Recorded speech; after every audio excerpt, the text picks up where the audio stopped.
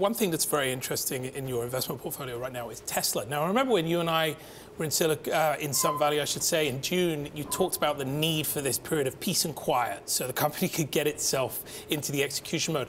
Now, I'm not going to ask you to uh, to handicap how well Mr. Musk has performed that task because I think we can we can sort of assume he hasn't done particularly well.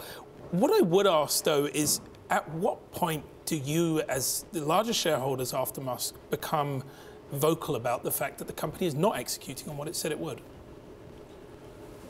Well, that was certainly an extraordinarily uh, unsuccessful plea at the time you were talking about. One needs to be modest about that.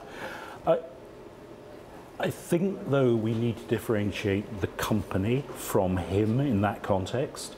And of course, the irony is that the period you were referring to was precisely when production of the three was finally beginning to be achieved. And we think that has to be our main task.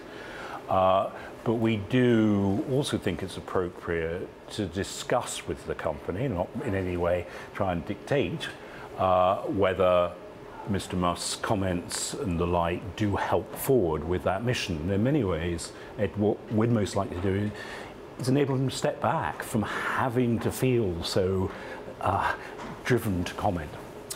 But you, you made an interesting point, which is that the key is to separate Mr. Musk from the company if you are going to see that forward motion. Does that mean, uh, as holders, you would like to see him have a less active role or potentially no role with the company? Well, we were talking about Amazon before.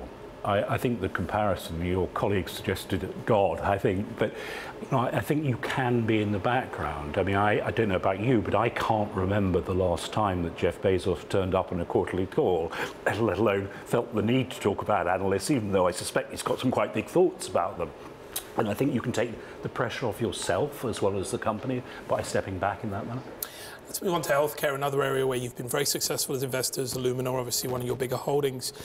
We seem to be at this inflection point in healthcare where you have the, I suppose we're at the beginning of the new wave of drugs coming through, whether genotherapies or immunotherapies really could be game changing for sort of human progress. At the same time, you have this uh, bifurcation of the, the companies where the big pharma companies are no longer really doing R&D. They're really instead trying to buy the best science. How do you as stock pickers go out and find those companies that are going to be the next Illumina or the next Roche? Well, I think you describe it very well. That that is the twin challenge. There's this extraordinary opportunity with the science opening up, and you know, finally understanding human biology. Hopefully, over the next 10 to 20 years.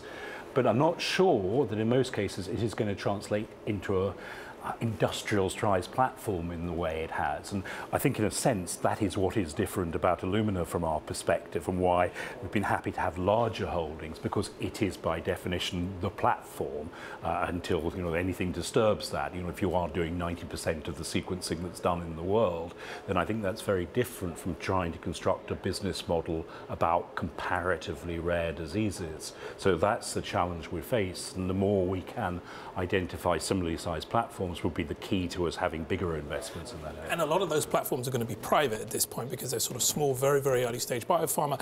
How do you go out and look at private companies and how is that different from picking stuff in the public market? I think it's less different in healthcare, if I may say so, than probably anywhere else, because as you know, it's historically been true that companies can go public quite earlier in healthcare, and that still seems to be happening despite the generalized skepticism about going public. And I think the challenges are not definably different from the, the unquoted to the quoted at the moment. You know, a company like Denali, which has sort of gone from one to the other, I'm not sure that that much has really changed. But in general, outside healthcare, I have to say that I think that it's much easier for companies these days to invest for the long run and to take risk as private companies. So you know, even in Europe, I think the context of what Spotify has done has been fascinating. That our perception is that Daniel Ek felt that if you're going to be challenging Amazon, Apple, Tencent, taking on the music labels, trying to legitimize streaming, that you couldn't really do that if you were reporting on a 13-week cycle to public markets. So I think very often you're better off saving private, and we don't have a problem with that at all.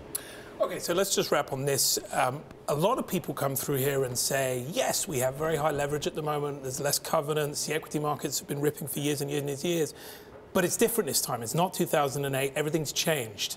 You've been in the market a long time, as Scarlett mentioned at the top. You have a very long term view of investments. Has anything really changed? Over my career, the two elements that I think really have decisively changed, and you know, there are of course through history elements that we both know stay the same, but equally it's the differences that are important. The two elements will firstly be globalization, which has totally altered the scale a company can be.